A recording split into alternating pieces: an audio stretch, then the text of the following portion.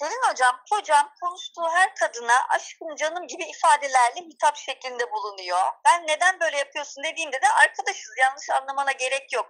Ben Yok böyle efendim. konuşuyorum diyor. Yok. Hayır. Değiştirecek. Ne münasebet, ne aşkım, ne canım, ne sevgilim, ne şekerim, ne cici hoş mi hoş bilmem ne gibi laflar. Yok böyle şey. Evliliğin kitabında bu yok. Belirli arkadaşlık da yok. Böyle kız arkadaşı olmak ne demek yani? Sen de şimdi onun arkadaşlarından birini seç diyelim. Ondan sonra şekerim, canım, hayatım koluna gir, şakalar yap. Böyle kak kak kiki olmaz. Evlilikte böyle şeyler yapılmaması gereken kanunlar vardır. Bunların arasında bu da vardır. Ötekilerinin ne olduğunu merak ediyorsanız kitabımı isteyeceksiniz. Kitabımı ısmarlayın, görün neler var.